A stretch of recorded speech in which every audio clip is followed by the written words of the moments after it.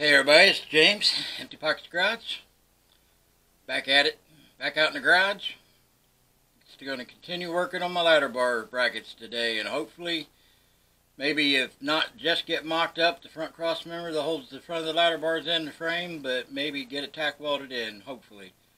Uh, I'm not counting on that, that's just a goal.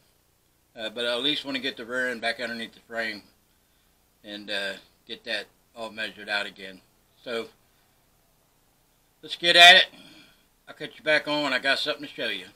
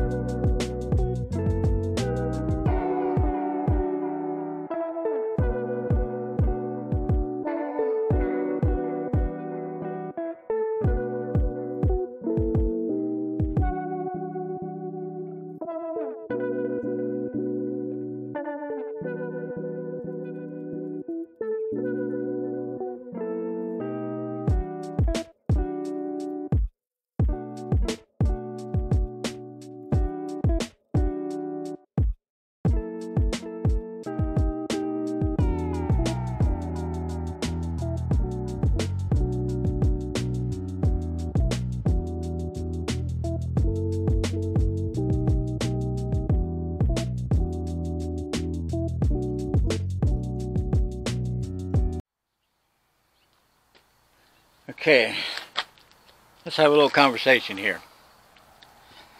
So I got that in there. I removed the temporary pieces I had in there. Now I've got to place the front cross member in the right location and make sure I have everything still squared up. Now, knowing that, I knew I'd probably run into a problem with this cross member kit I bought because brackets came with this ladder bar kit, but just the brackets, nothing else. So I wanted something, and they were kind of like, they didn't go all the way around the pipe. They're just kind of just weld onto the side of it. And I wanted something a little bit stronger because someday this will have a beefier and more narrow end in it because I've got some other super wide Cragars with McCreary's and everything on it that's going to go on it at a later date. But anyways, getting back to what we, the issue of the day. Now I'm going to show you what I'm going to do. I'm going to do it on camera and then that'll be it for today. I thought I would get this video out today, but I'm going to come back tomorrow and do the welding, finish cutting this cross member and do the welding on it and get it in the frame. And then I'll work on the oh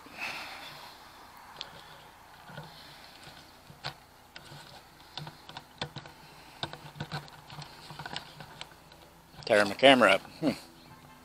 All right.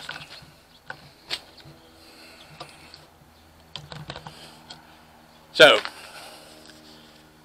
I gotta get this narrowed. It's the bar comes and does a dip so the drive shaft will have clearance. But my cross member piece is going to be so low, I don't really need much uh, clearance as far as for the drive shaft because it's already so close to the transmission cross member that it, it probably will never be a problem. So I'm going to shut you off, set up the camera, and I'm going to cut this cross member piece today and then we'll get it welded in tomorrow.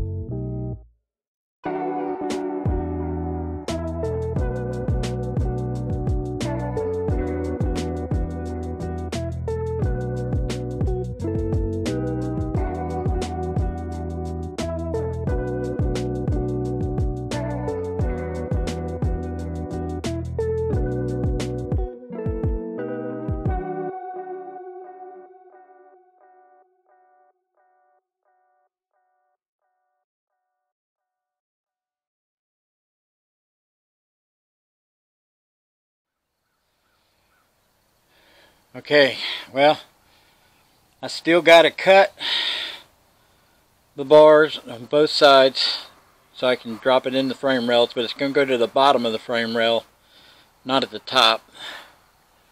And I, I may even do some kind of like half wedge cut out of the pipe and sandwich it up on the bottom of the frame and weld it across the bottom of the frame. That way I have it as low as I can get it without it not making contact with the frame. So, honestly, I come back to work too soon, people. I I feel like I've done more damage to my knee today than I I did when I fell.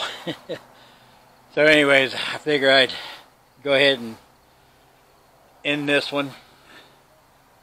I wanted to get this done in this one video series, but it's not going to happen today.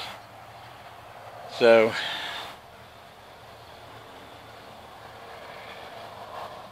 we'll see what we can do. Okay, so unfortunately it's probably going to be it for this one. I cut this much out of the middle of that bar. This rear end, I, this frame I got, it is super narrow.